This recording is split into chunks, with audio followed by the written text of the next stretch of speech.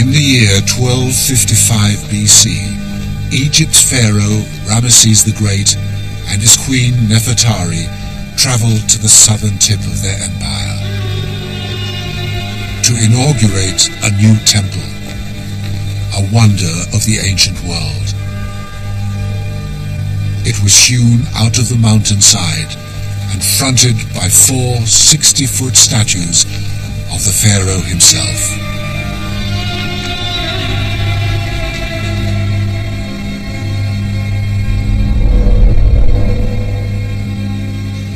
Three thousand years later, in 1816, the explorers Giovanni and Sarah Belzoni stood on the same spot. Come on! Giovanni! There was a local legend that inside the temple was full of gold. Oh. The entrance is covered in sand. It would take an army of men to clear that away. Giovanni, look at this! Is it not the finest building the world has ever seen? Think of the treasure inside it. To remove centuries of sand would require a massive feat of excavation. It would test Belzoni's ingenuity to the limit. This is the story of how an eccentric adventurer became inspired by the works of one pharaoh, so that he went on a personal quest for a treasure worth far more than gold.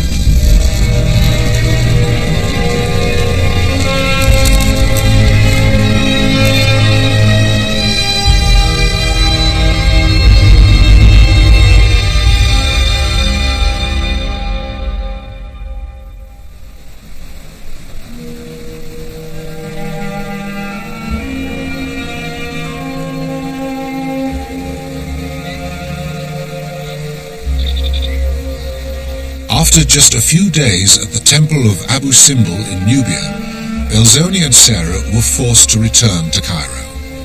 They needed money and supplies to attempt the massive task of uncovering the temple.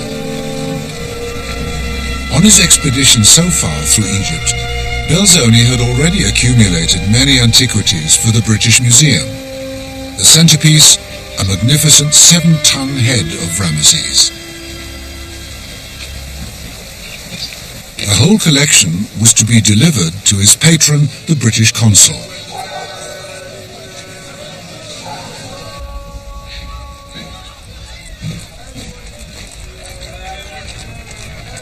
Mr. Belzoni?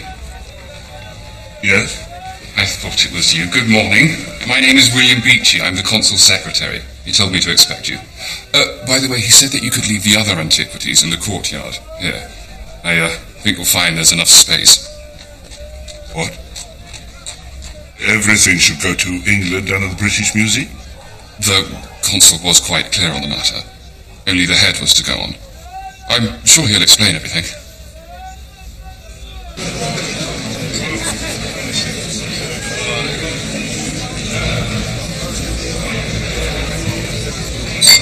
Belzoni hoped not just that his collection would build him a reputation in England, but that it would encourage the consul to fund another expedition up the Nile.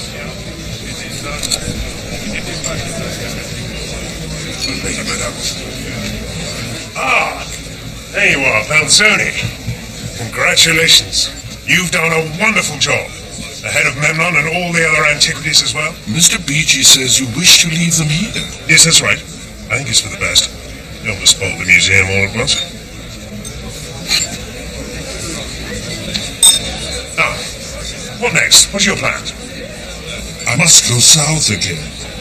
There is much more I have collected, waiting at Thebes and Philae, and most exciting is the buried temple of Abu Simbel in Nubia, but we have to move fast. Drovetti and the French are not to be trusted. They'll steal everything if they can. Well, they really. Well, we mustn't have that, must we, Bill? No, sir, not at all. And I suggest the British Museum send an artist. The temple at Nubia needs to be recorded. I don't think we need to get them involved. Besides, I'm not sure my funds can stretch all the way to Nubia. Why not try a bit nearer? As for artists, why not take Bill with you? He's a wonderful painter, aren't you, Bill? Sir, I need experts. You're the expert, Mr. Belzoni. Look at what you've got already. Now, you find any more of that, you have my full authority to take it. You understand? Yes, but... Uh, Good. Now, where's Yanni? Yanni, a word, if you please. By 1816, there was a growing demand in Europe for Egyptian antiquities.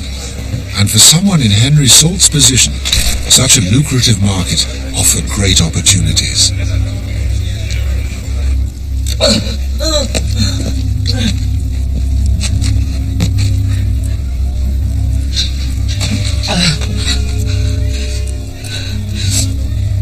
can't go with you. You must go alone. I can't leave you here. You were with me on my first voyage. You'll be there on my second. I can wait a week until you're well. No! You must go now before word leaks out. Already there are rumours that you found more treasure down south. What if Drovetti knows? You must go now. Be careful. Besides, I don't trust Salt.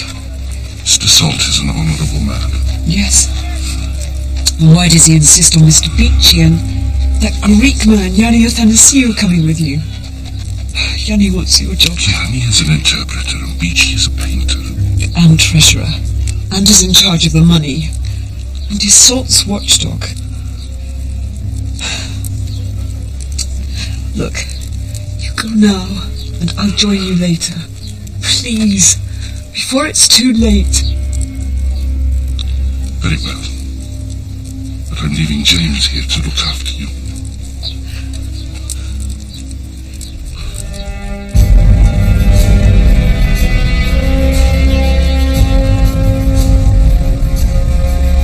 Belzoni left his wife behind in Cairo and set sail for Luxor and then further south to the Temple of Philae. He hoped that by uncovering more antiquities, he could convince Salt to take a gamble and fund his dream, a return to Abu Simbel. But it wouldn't be easy. Mr. Salt entertained strong doubts of the existence of a temple there, for he said that he thought we should find no entrance. Belzoni pressed on towards the ancient city of Thebes, today's Luxor.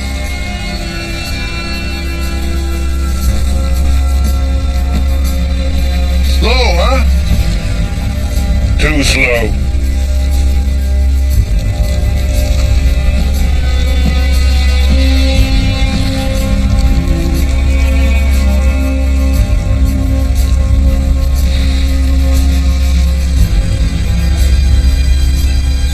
With his ship becalmed, Belzoni had little option but to moor at a place called Minya.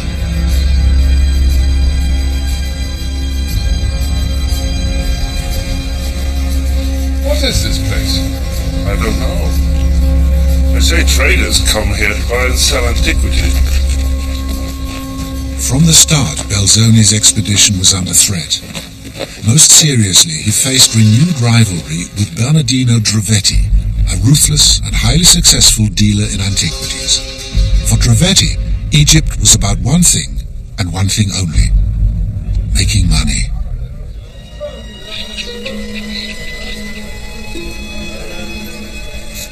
Where's?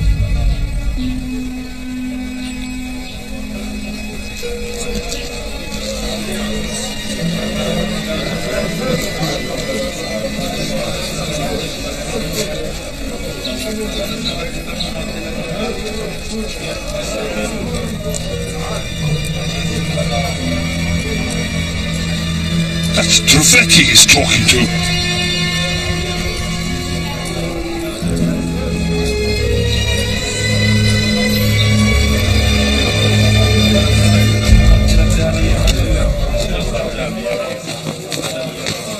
What did you tell him? Tell who? What are you talking about? That was Drovetti. What did you say? I just said hello. Did he ask where you were going? Did you say you were with me? Look, it was just a conversation was nothing. Idiot.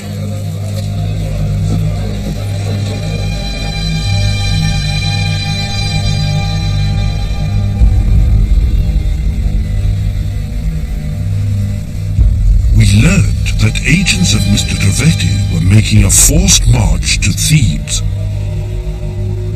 And I had no doubt if they reached Thebes before us, they would take possession of that ground that was so evidently pregnant with objects worthy of excavation, and we should no longer have a right to explore it.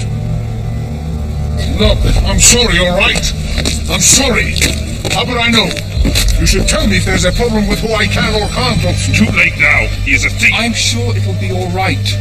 We should return to our boat and keep sailing. never catch him that way. Look, our only chance is to ride overland. Yanni and I will go. You take the boat. Ride? Did you say ride? Yes, ride. Ride what? Come on! Keep up! Let's go! Come on, Yanni! He's cleverer than you. Son of a whore! Fish stealing whore, you! Oh! Yalla! Eh, la parabuena! Yalla, yalla, yalla! Come on, come on! Never ridden a donkey before! Well, now you have four or five days to learn. Hurry up! We set off immediately, and forced marches brought us on the next evening to Manfalut. From this place we hastened without delay and arrived at Siout before daylight. At sunrise we mounted again and arrived at dark at Takhta. Here we rested in the convent for four hours, started afresh by the light of the moon and arrived at Gergach in the night. We proceeded onward, rested a couple of hours at Benut and arrived at Luxor the following noon.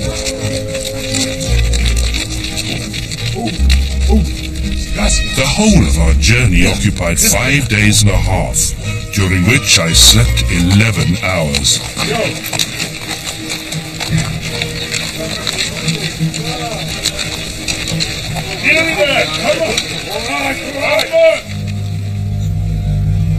Luxor, the modern town built on the ruins of ancient Thebes, boasts the highest concentration of Egypt's temples. Here, Belzoni planned to uncover antiquities that would please his patron, Henry Salt.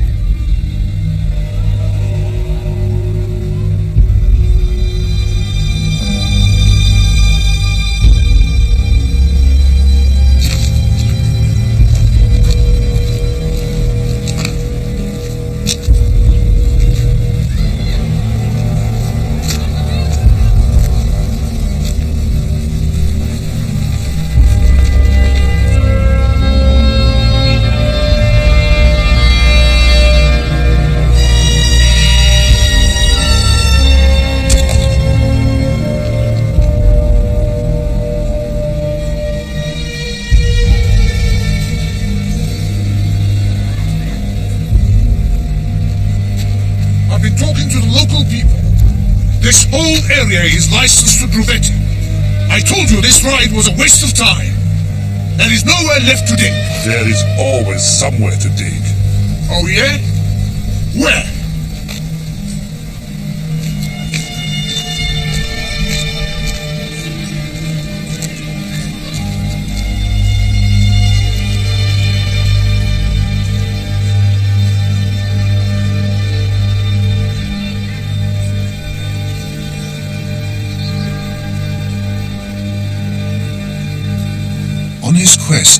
Belzoni seemed to be in step with one figure from Egypt's past above all others. The king who left the most enduring mark on the temples of Egypt, Ramesses the Great.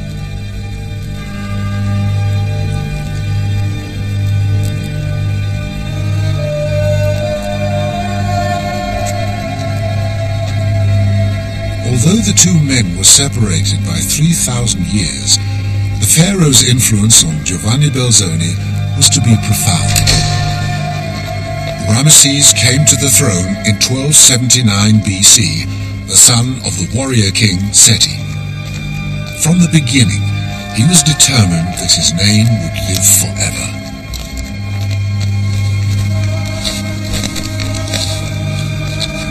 He married Nefertari, who became his favorite queen and provided him with heirs.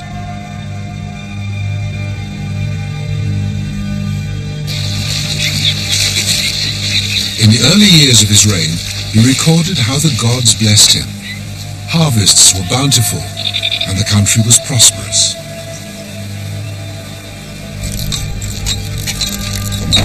Became Egypt's most extravagant builder since the construction of the pyramids 1200 years before. He erected a string of massive buildings along the Nile and converted the historic temples of Thebes into monuments to himself. But there would be nothing anywhere in the world to rival his plans for the great temple at Abu Simbel in Nubia.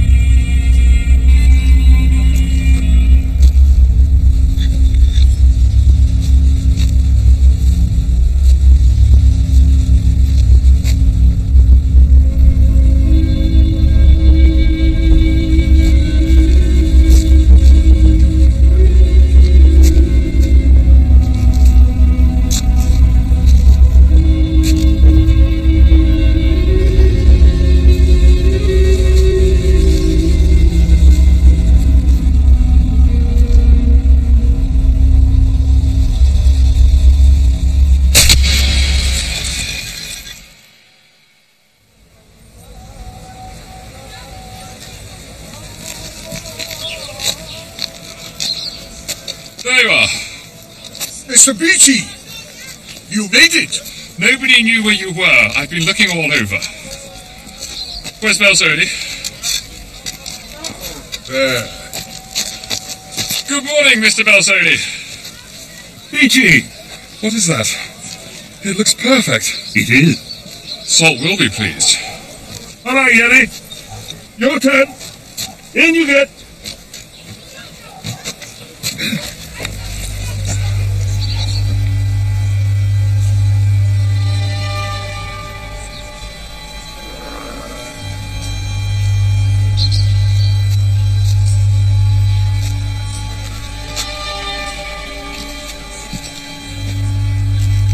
Uncovered a magnificent stone bust in perfect condition. I thought we had arranged for all these sites to be ours. We did. But when we searched the area, we found nothing. So we let go of the license. Idiots! I do better following him. Everyone said this man was a circus clown. Wherever he looks, he finds something. Get rid of him!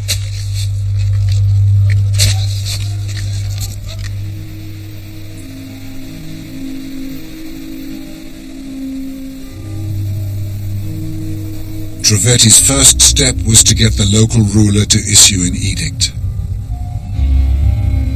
It is the will of the ruler of Upper Egypt that no person shall sell any antiquity to the English party. On the contrary, it is hereby ordered that everything that may be found shall be sold to Mr. Triveti. I need not inform you how I felt on hearing this mandate. But anywhere else, Drovetti will just twist the Kaimakon down and stop us. We've got permits everywhere. Not everywhere he doesn't. Hammett, I want you to spread the rumor that we are giving up. We have no more stomach for this and are going back to Cairo. Say we are leaving to sail north. North? Mr. Said. North. Then we stop five or six miles downriver. We wait a few hours, we turn round, and we head south. By dawn, Luxor will be far behind us.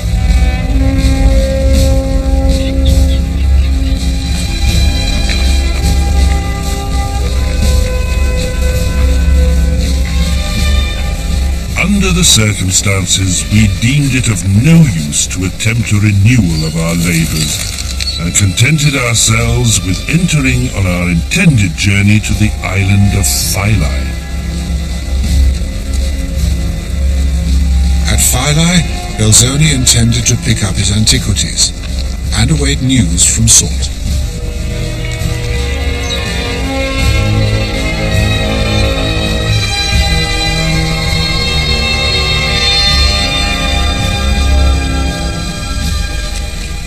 I suggested by messenger to Mr. Salt that if he could send us a supply of money, we would proceed to open the temple of Abu Simbel. A project that was deemed nearly imaginary, a castle in the air.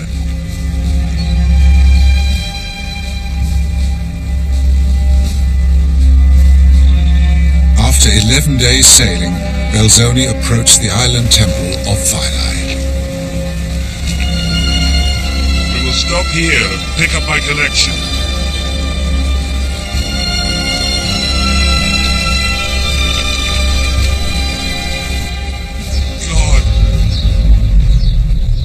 Operation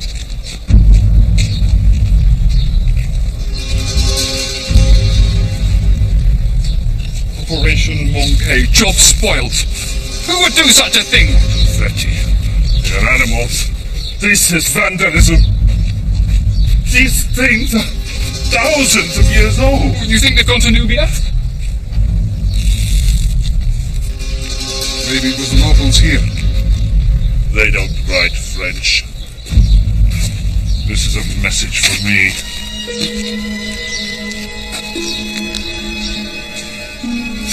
I think we should go back to the boat. They won't harm us. They're just curious.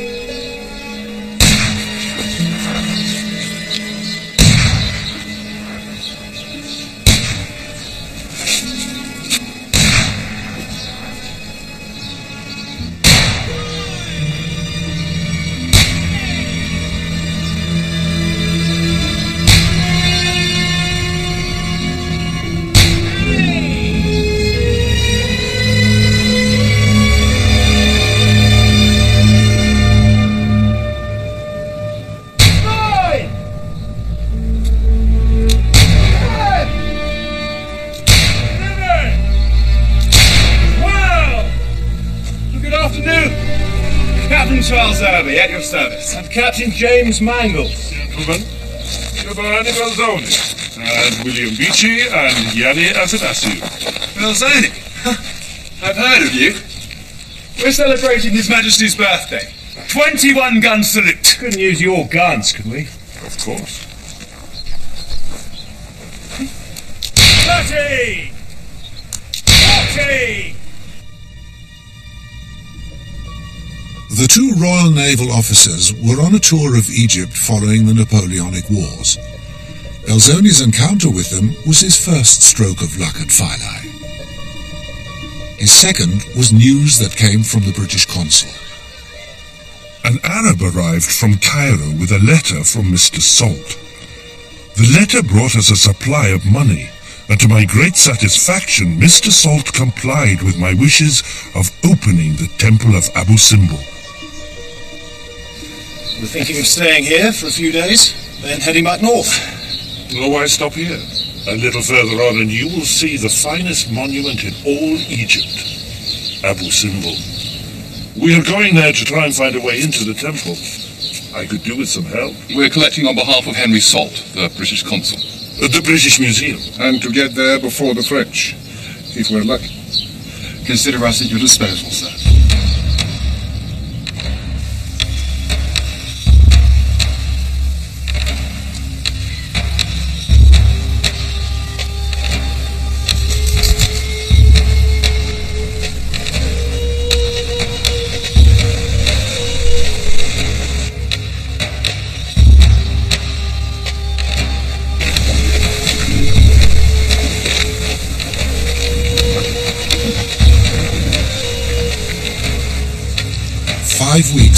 Leaving Luxor, Belzoni and his unlikely band of adventurers approached Abu Simbel.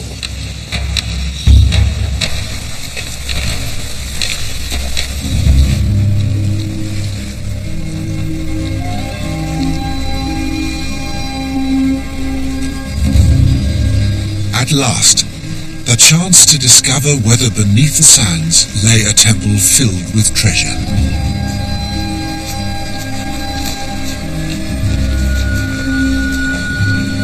No sign of the French.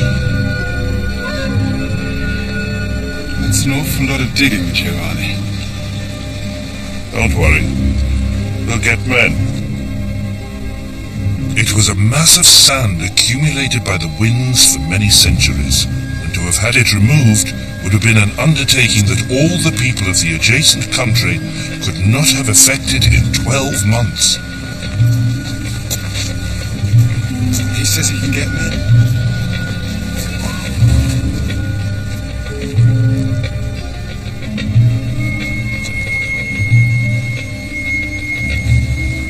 We need 100 men to help clear away sand from the front of the temple. I shall pay 300 piastres for the work. Hawa Mahtag Merl Robert.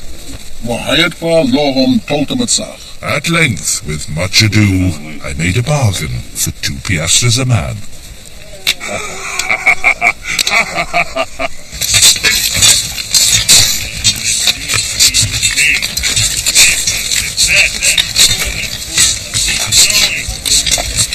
God, it's hot. Have lost cause this. Once they take it away, it keeps filling back up.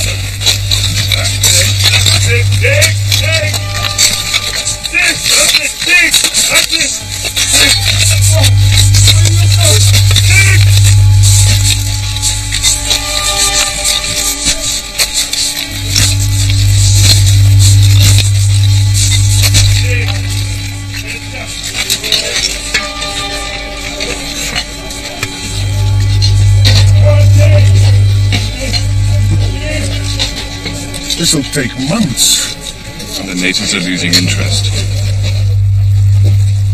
I, uh, I doubt any of them will turn up tomorrow. There were less than 40 today. What if you tried paying them more money? There's no point. What we need is palm fronds and trunks. And water. We need to build a palisade either side of the entrance and wet the sand. How? We have no labor. We have enough. There's five of us, plus Hammett, plus the crew of the boat. That's almost 20 people. We pay them extra, we can do it. Of course we can. Hey, James? Quite so. No problem at all.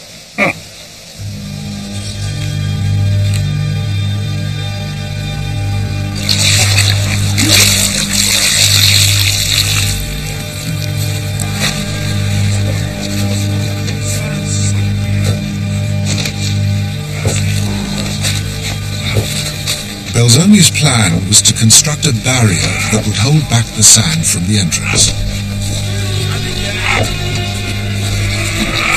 Come on. Yes. Good. Yes.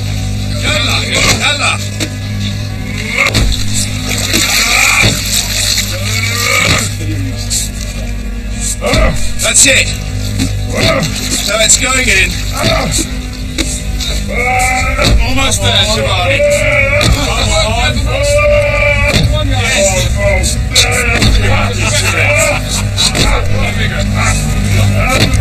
I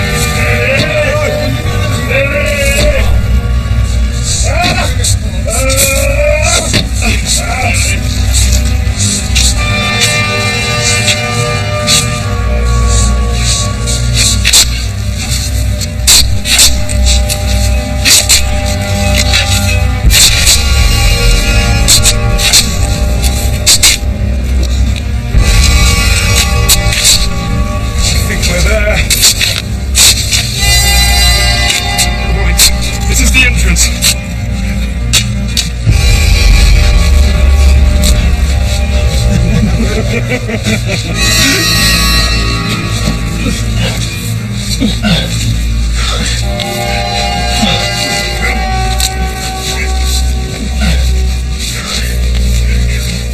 enough. I can get in now. No, stop! Clear the entrance and wait until morning.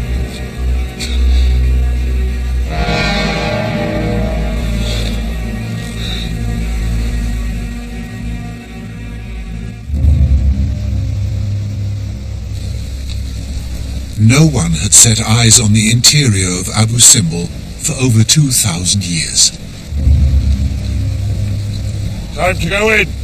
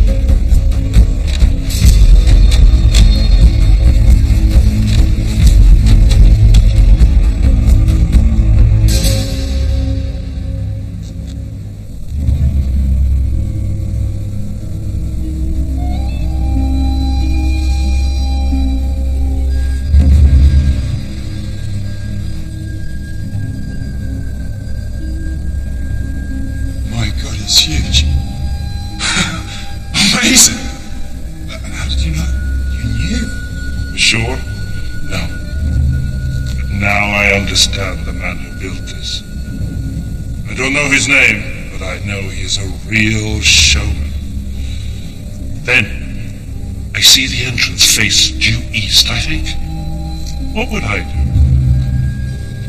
Somehow.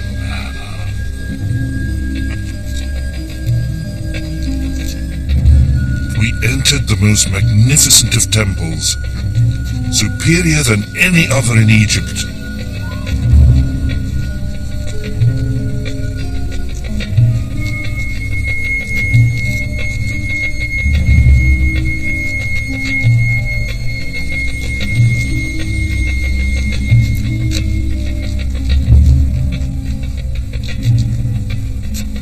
First hall is dominated by colossal statues of Ramesses the Great. On the south side, they wear the crown of Upper Egypt, and on the north, the double crown of Upper and Lower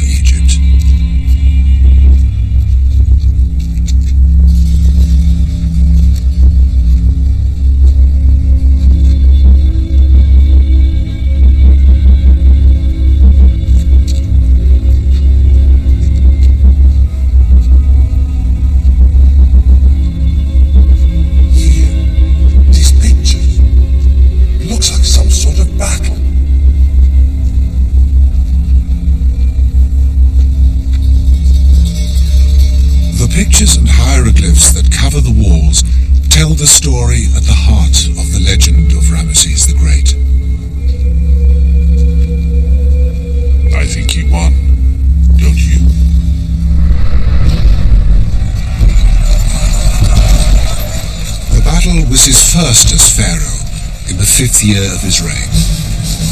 Ramesses' objective was the strategically vital fortress city Kadesh, seized by the Egyptians' great enemies, the Hittites, 70 years before. It was of immense importance, for it controlled lucrative trade routes to the northern Mediterranean. Ramesses led the approach to the city from the south. He soon received intelligence that the Hittite army had fled. The gates were wide open. The young pharaoh made a swift decision. Taking a light force, he moved in for a rapid capture of the city.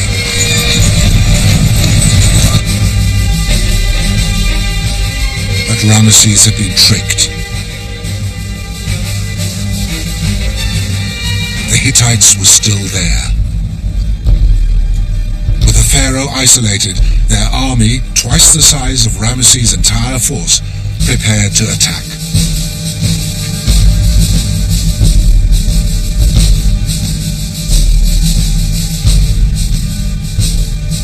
The moment he received the dreadful truth, Ramesses knew he faced the greatest battle of his life.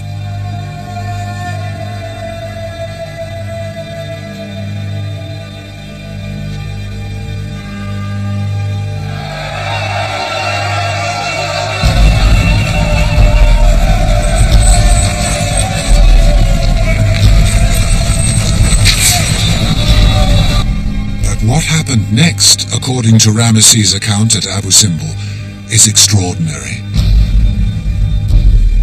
Ramesses claimed to have had a vision of his own divinity.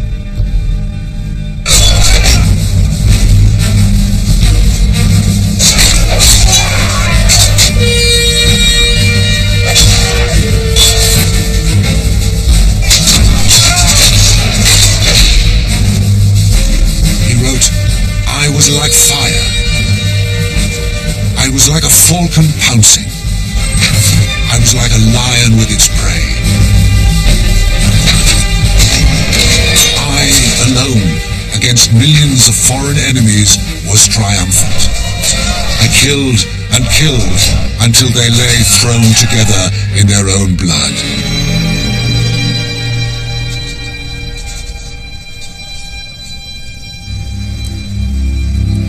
In the aftermath of victory, Ramesses' soldiers walked amongst the dead, cutting off hands.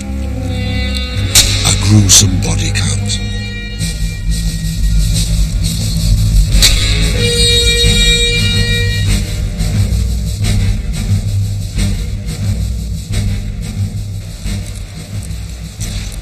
The message to the Egyptian nation would be clear.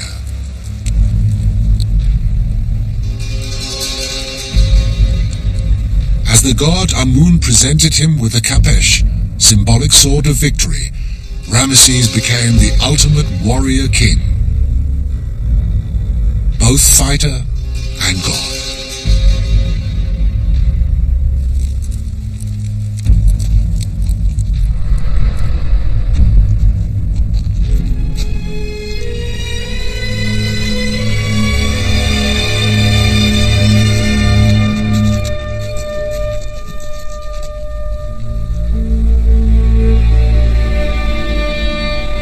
As Belzoni explored deep into the temple, he discovered the inner sanctuary and the statues of the three great gods, Ra, Amun, and Ptah, sitting alongside Ramesses himself.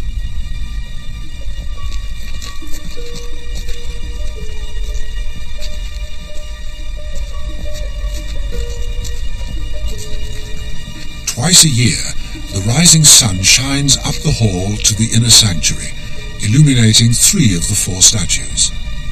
Only Ptah, god of the underworld, remains in the shadows. There's nothing like it in any other temple in Egypt. These things are worth nothing. This whole place is a waste of time. That was supposed to be gold. It's empty. Empty. Maybe. Place is worth more than gold. We must make sure all this is recorded.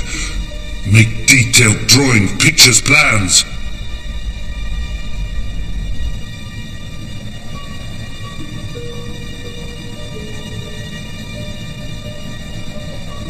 Belzoni's life changed here, in this temple. Despite sweltering temperatures, and with the knowledge that there was no gold or precious stones, Belzoni began to record every detail.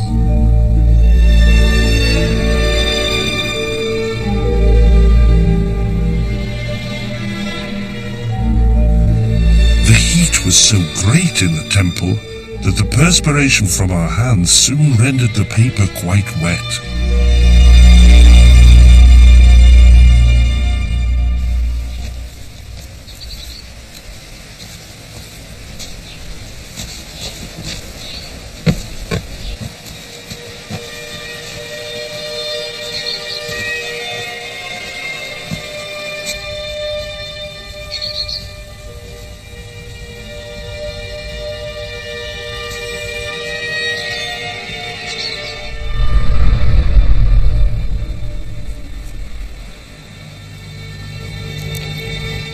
Time Ramesses attended the opening of the temple, aged 50, it seemed his place in history as the divine warrior king was secure.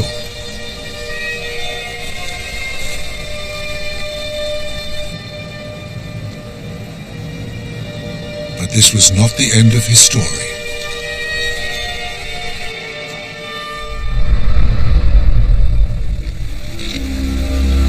And for Belzoni, it was just the beginning.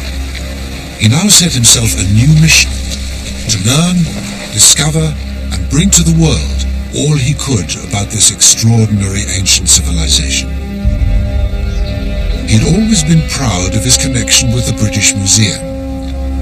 Now he wanted to go further and become one of the first scholars of ancient Egypt. But he faced one huge problem. It was Thebes which represented for him the best chance of unearthing more wonders of Egypt's past. And unfortunately for Belzoni, its monuments were controlled by his great enemy, Drovetti. Nevertheless, Belzoni hurried back to Luxor and the ancient ruins of Thebes.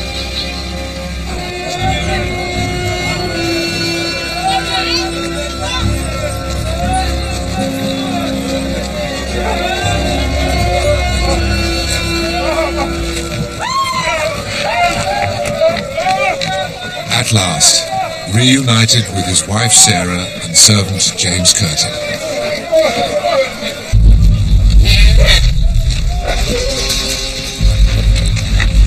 Signor Belzoni, signora. You're back. For a short time. That's good. This is a very dangerous place to stay. So I see. I suggest you leave for Cairo. I wouldn't like any accidents to happen. Thank you for your advice.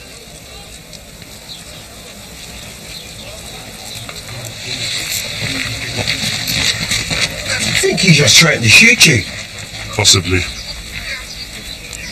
Did you know that William Hamilton says that at the beginning of the Christian era there were 18 open tombs in one valley? Didn't say where they were, did he? No. But Napoleon's savants listed 11 tombs that they knew about in the Kerner area. Well, we can't go to Kerner. Drovetti has all the licenses. No. But he hasn't found any new tombs, which means either he can't find them or the place is dry. So let's think. If you're an ancient Egyptian pharaoh and there was no more room at Kerner, where would you go if you wanted your tomb to be safe for all eternity?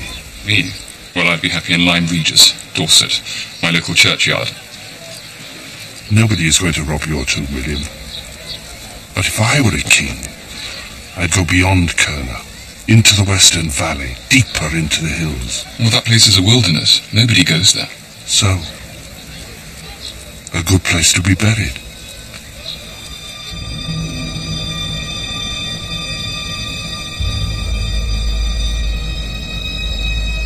Sacred valley named Biban el Maluk begins at Kerner, runs toward the southwest, and gradually turns due south. The ground can be visited either by a single natural entrance that is formed like a gateway, or by the craggy paths across the mountains. Belzoni's research had brought him to the wilderness now known as the Valley of the Kings, the burial ground of Egyptian pharaohs for over 400 years. Belzoni believed that the discovery of new tombs would offer him a window on this lost civilization.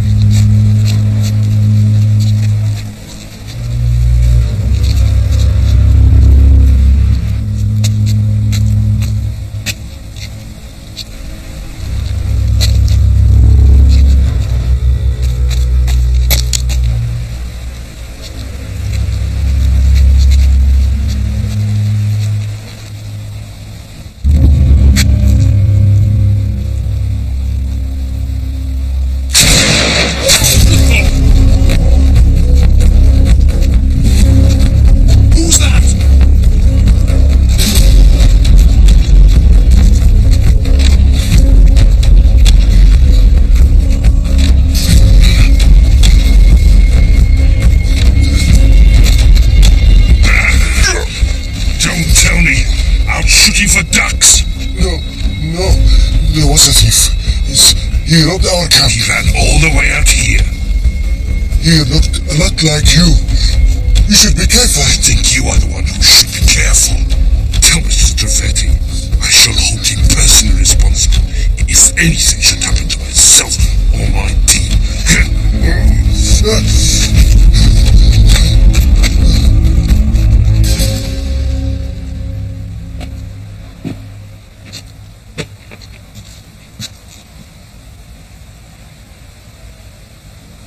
What's the matter? This is crazy!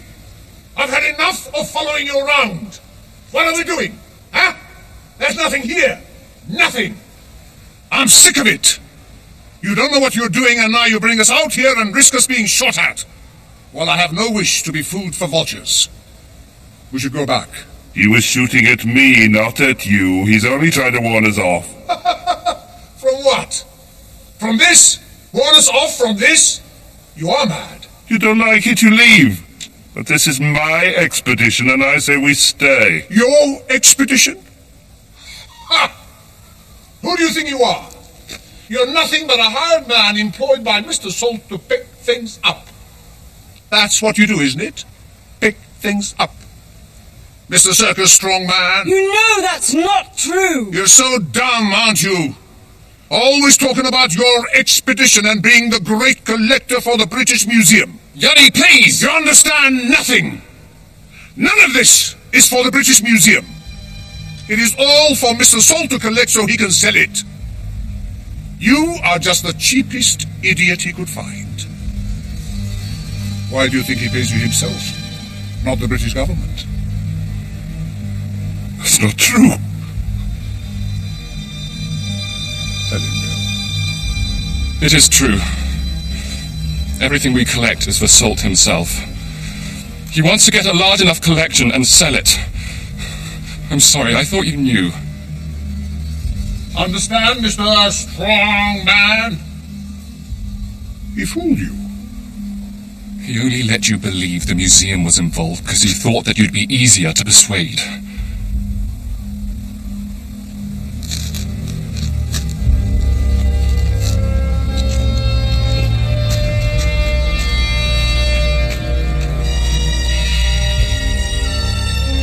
I don't care whether they pay you or not. You're the one that finds everything. Without you, they'd have nothing. People will remember you, not Salt. Look at what you found. Everything on the boat. The obelisk, Abu Simbel, Philae, everything last year. It, it's incredible. But it will all be in Salt's name. Not for long. You're like a painter. No matter who pays him, it's the artist we remember, not the man with the money. You must go on. You can't give up now. Oh, You have me, and Curtin, and Beechey. He believes in you. Please, Giovanni, you must go on. You are a great explorer. Do you really believe there is something out here? yes. Yes, I do. You must find it.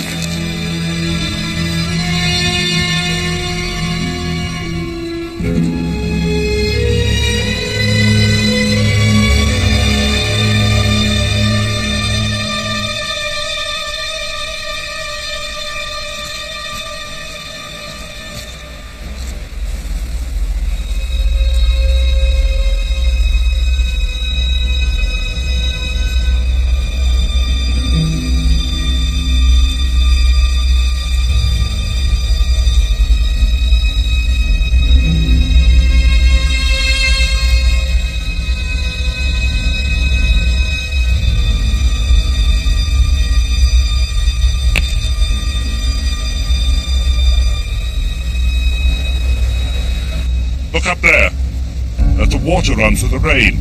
It rains here? Not often, but sometimes. And look, the erosion is clear all the way down until just in front of us. Then it vanishes. Why is that? Because the rock is not solid. There's a tomb there. Really think so? Can't be sure. But tell the men to start digging. Hammett! Gentlemen? والله رجال على المقبرة الثانية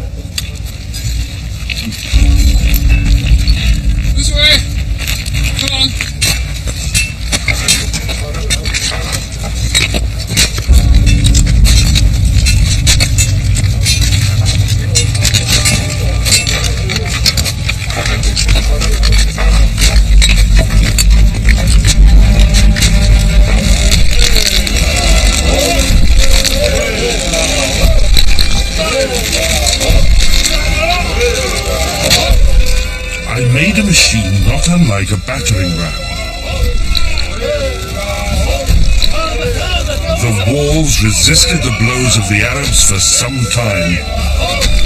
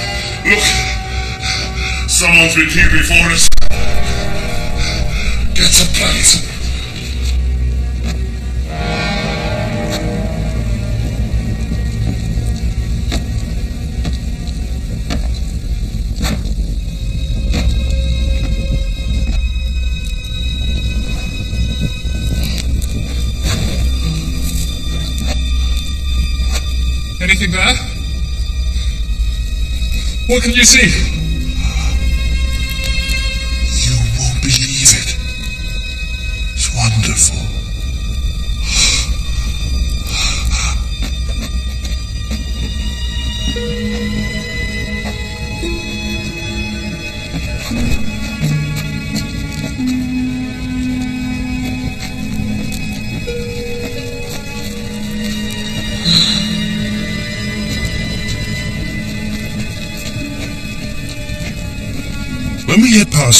Little aperture, we found ourselves in a beautiful hall.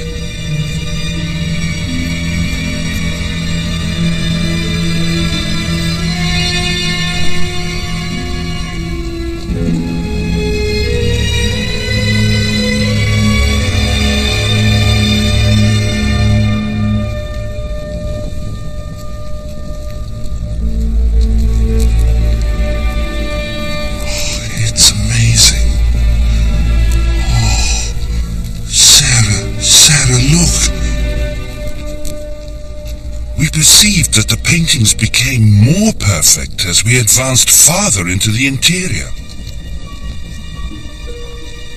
This is incredible.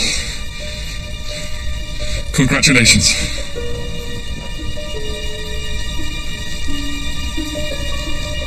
Belzoni had discovered the tomb of Seti, the father of Ramesses the Great. Though, like Abu Simbel, empty of treasure, it's the most lavishly decorated and largest tomb in the Valley of the Kings. Where Tutankhamun's tomb, discovered a hundred years later, is the size of a garage, this one is almost the length of St. Paul's Cathedral. My God. Look at that.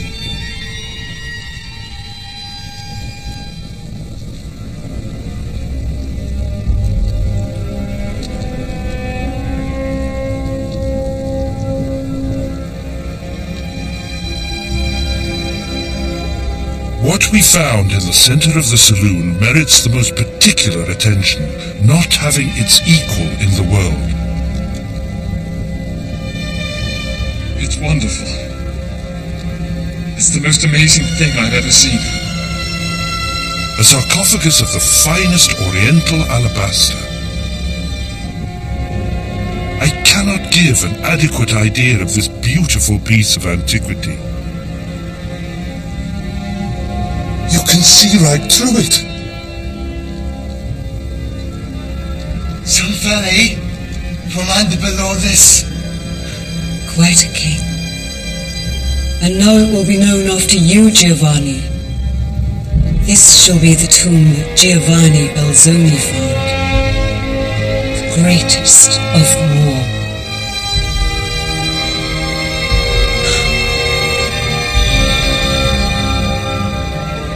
This was indeed to become known as Belzoni's tomb. And 3,096 years before, Ramesses himself looked for the last time upon the same sarcophagus, which then contained the remains of his father. For Ramesses' own rule had begun on this spot.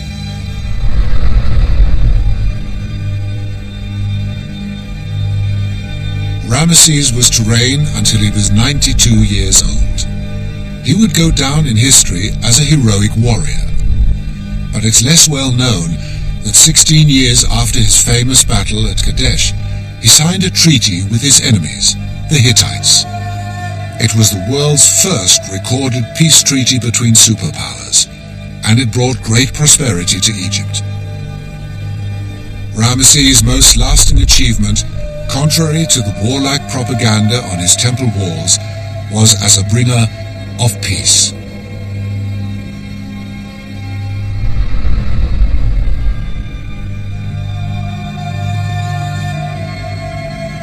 Belzoni recorded the tomb that he discovered in unprecedented detail.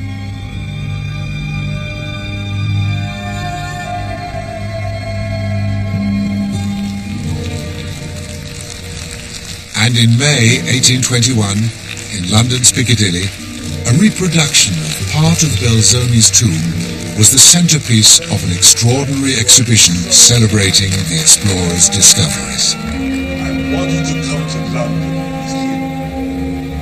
Belzoni became one of the most famous figures in London. And many of the artifacts that he collected did actually end up in the British Museum. Still today, its Egyptian galleries are dominated by the findings of this extraordinary man, the gentle giant from Padua.